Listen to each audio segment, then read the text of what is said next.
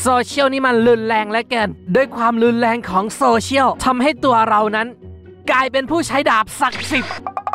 เกี่ยวอะไรวะ น่าจะเป็น Uber ตัวแรก ๆ ที่ผมได้นะ แล้วก็เป็นตัว Uber เกือบท้าย ๆ ที่ผมอัพสำหรับเอฟเฟกต์ที่เปลี่ยนไปเนี่ยให้สังเกตที่รูปเกราะตอนแรกจะต้าน damage ได้แบบนิดนึง แต่ว่าพอเปลี่ยนแล้วก็จะต้านความเสียหายจากเหล็กได้แบบโคตรเยอะนะ Oh yeah. มาเล่นด่านฮิปโปฟาร์มตั๋วกัน ความพิเศษของซากุระเนี่ยมีมากกว่าที่ตาเห็นเว้ย เพราะถ้าเกิดว่าเอาซากุระใส่แถวแรก มันจะทำให้ได้ combo critical rate up นะ หรือก็คืออัตรา critical เยอะขึ้น อ่าได้มาแล้วนะ ได้ถึง 2 เอฟเฟกต์นะ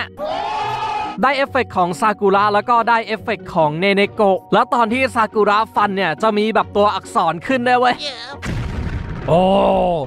แกช่างกล้ามากอ้าวเรียบร้อย โอ้ยเดี๋ยวฮิปโปยังพูดไม่จบเลยซากุระเล่นสไตล์ คือซากุระตัวเดียวก็เอาอยู่แล้วมั้งเนี่ย critical ออกยังบ่อย เอาจริงผมว่าเป็น Uber ที่ดีมากเลยนะเนี่ย ในร่าง true form ด่านฟาร์มตัวที่เล่นตอนช่วงแรกๆเนี่ยยากมาก แต่ว่าในช่วงท้ายเกม มีซากุระ true form ต่อให้เป็นฮิปโปเหล็กก็เอาผมไม่ลง ได้ตัวมาหนึ่ง The Crestfish ปลาข้างพยองเดช ตอนเนี้ยคือผมเนี่ยพยายามจะแบบเก็บเซตแมวข้างหูมนุษย์อะไรเนาะอยากจะได้เราอยู่ในคอลเลกชันเหรอ ถ้าอยากจะได้เราต้องเอาไส้เดือนมาให้เรากินนะเออคือว่าฉันมีแต่พิซซ่า กินพิซซ่าได้ไหมอะหูไปสวรรค์ดีกว่า แมวป่าอย่างเราไม่ชอบพิซซ่า ไม่ค่อยโหดเท่าไหร่ ดูดิ ผมส่งไปสวรรค์รัวๆหูนี่นายบอกว่าเราไม่โหดเหรอโถเอ้ย เอาละเอาเฮ้ย ดวงดีเวอร์ เจอฮิปโปเหล็กเอาจริงผมไม่รู้มาก่อนเลย ใส่ซากุระมาเพราะว่าเพิ่งอัปเกรดได้แมวปลาข้างแคทเวคล้ายๆ กับแคทวอล์กป่ะเออเออเออด่านนี้ไม่ได้การันตี แต่ว่าก็มีโอกาสในการได้เยอะ จะเจอ โอ้โห เทวดาแน่นอนช็อตนี้ สังเกตจากด่านแล้ว โอ้โห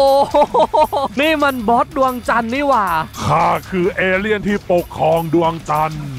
แต่ว่าข้านั้นได้ตายไป เพราะว่าพวกแกไอ้เจ้าแมวชั่ว พอข้าตายไปด้วยแต้มบุญที่มีทำให้ข้ามาเกิดบนสวรรค์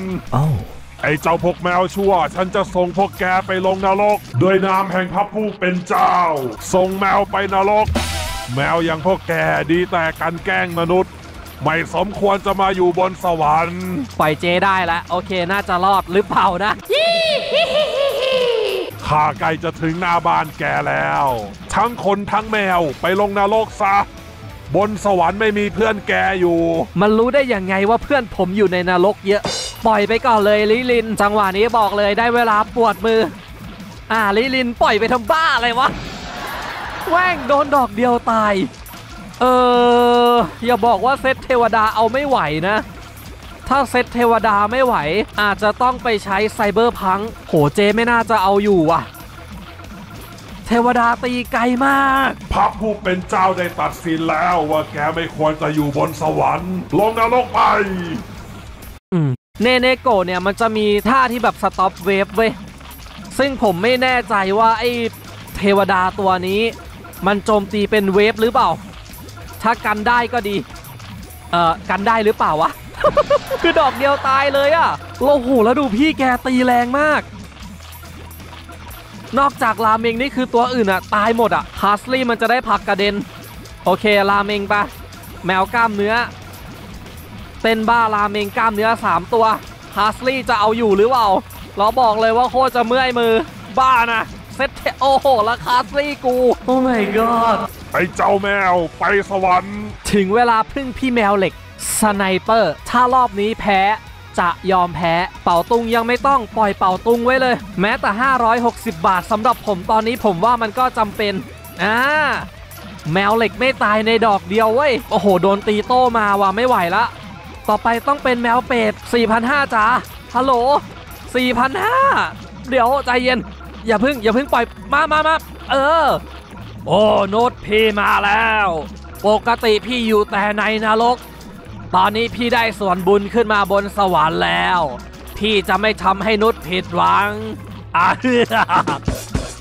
กับนรกเซตเทวดาผมไม่โหดพอ Cat's Eye Nebula ด่านนี้เงื่อนไขคือ 4,000 หรือน้อยกว่า ด้วยเงื่อนไขแบบนี้ทำให้เจและคาสลี่ของผมไม่สามารถลงสู่สนามได้ แล้ว Uber ตัวที่มีก็ไม่ค่อยโหด ยกเว้นยูกิมุระแล้วก็ Nurse Cat เจอเทวดาด้วยว่ะบ้านะนี่เทวดามีอยู่จริงอย่างนั้นเหรอ ในอวกาศผมเจอเทวดาเข้าให้ ด่านต่อไป Egg Nebulaนั่นมันไข่อวกาศนี่นารสชาติมันจะเป็นยังไงกันนะหุนุชเดี๋ยวพี่ไปเอาไข่มาให้นะ ไข่ใส่ในราเมงนะบอกเลยนุชว่าโคตรอร่อย อดใจรอแป๊บหนึ่งนะนุชเดี๋ยวพี่เอามาให้ขอบคุณนะครับพี่ราเมงเออว่าแต่ผมจะเปลี่ยนปืนดีกว่า ปืนสโลรู้สึกไม่โอเค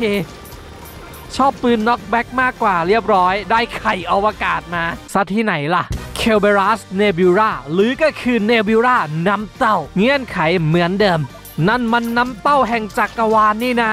น้ำเต้าที่เก็บทุกสรรพสิ่งในจักรวาล เออว่าแต่ถึงหน้าบ้านกูละน้องน้ำ สีดำต้องเจอพิซซ่า ปล่อยพิซซ่าก่อนเลย เอเลี่ยนต้องเจอรอยแพยูกิมุระซัดมาเลย ได้เลยนุชเดี๋ยวข้าจะซัดผู้พันเอเลี่ยนให้เคลียร์ผู้พันเอเลี่ยนได้แล้วนะ โอ้โห ผู้พันเอเลี่ยนตัวที่สองมา ผู้พันเอเลี่ยนเนี่ยมันจะมีเกาะบาเลียเว้ย เดี๋ยวนะ ตัวไหนเจาะบาเลีย น้องน้ำแข็ง น้องน้ำแข็งเหมือนว่าจะเจาะบาเลียไม่แน่ใจนะจำไม่ได้เหมือนกัน ว่าสัญลักษณ์อะไรแปลว่าอะไร แต่ว่าน่าจะแปลว่าเจาะบาเลีย เรียบร้อยนะ น้องน้ำแข็งนี่ใช้ได้ยาวๆเลย เงื่อนไขด่านนี้สูงสุด 20 ตัว โอ้โห เจอช้าง บ้านะไม่เป็นไรมีซากุระอยู่ เออนุชซากุระตีคิเจ้าแมวเต้นบ้า นายต้องศรัทธาสิศรัทธาในคิติคอล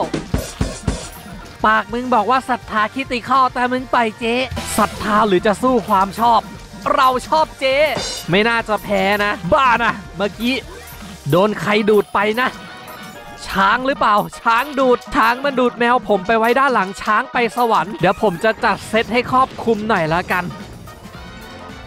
เงื่อนไขเหมือนเดิม เราคือนินจานินจาที่ได้รับการฝึกฝนมาอย่างช้านานอาเฮือนินจาอย่างเรานั้นจะเก่งกับสีแดง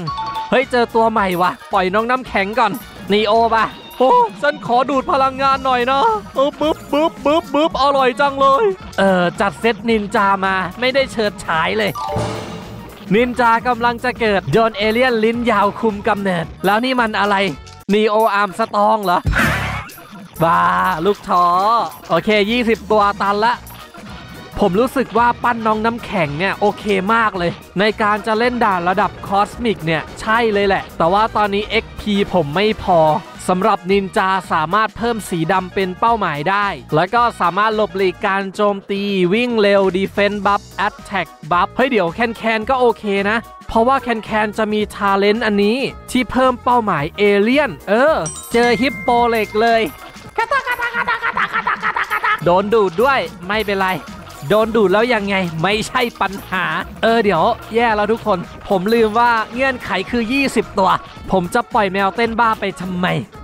ปล่อยตัวโหดๆเลยดีกว่า น้องน้ำแข็งปะไอเชฟเชฟเชฟเชฟเชฟเราอยากจะทำไก่อัดกระป๋อง เดี๋ยวแคนแคนจะทำเงื่อนไขคือใช้ได้แค่แถวที่หนึ่งงั้นก็เอา น้องน้ำแข็งขึ้นมา อุ๋งไม่อยากจะอยู่ที่ดาวนี้แล้ว น้องแมวพาอุ๋งหนีหน่อย เจ้าหญิงที่ดาวนี้แม่งหน้าเถื่อน เหมือนว่าเจ้าหญิงจะแดกอุ๋งเลยอะเฮ้พูดอะไรวะองค์ฮะ เอาสีเขียวๆมาดูดหน่อยดิ ไปหาสีเขียวมาเร็ว เออนุชไม่อยากไปเลยอะเจ้าหญิงเถื่อน เฮ้ยเอาหน้าเจ้าหญิงไม่เถื่อนขนาดนั้นหรอก ถ้าเจ้าหญิงเขาได้ดูดสีเขียวเขาน่าจะอารมณ์ดี เฮ้ยนุชแต่ว่าเราไม่มีสีเขียว ถ้านายไม่มีสีเขียวไปบรรณาการเจ้าหญิง นายก็เอาภาษีไปให้สิ เงินเราก็ไม่ค่อยจะมีแล้วนุช งั้นนายก็ถล่มเจ้าหญิงไปเลย เอาให้พังพินาศไป ด่านทะเลทรายแล้วนั่นมันอะไร ดาวห้าแฉก เจอสีแดงแล้วก็เอเลี่ยน มีแมวทำขนมเค้กมามันชนะได้อะ ชนะได้เกือบหมดเว้ย ไม่ชนะแค่เหล็กเท่านั้นไม่เป็นไร แย่แล้วทุกคน โอ้โห สีแดงมารัวๆ แย่แล้วแย่แล้วแย่แล้วเจ๊เจ๊เจ๊เออปล่อยเจ๊ได้น่าจะรอด ชนะแน่นอน ไอ้เจ้าแมวน่อยแน่กล้าขัดขวางพวกเราเหรอ พวกเราจะวับแกส่งไปที่สุดขอบอวกาศ โอ้ยโดนตีแล้วโดนตีแล้วเจ๊เจ๊พักกลับไป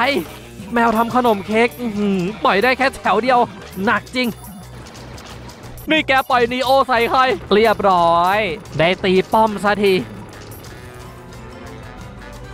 เจอกันใหม่คลิปหน้าสวัสดีครับผม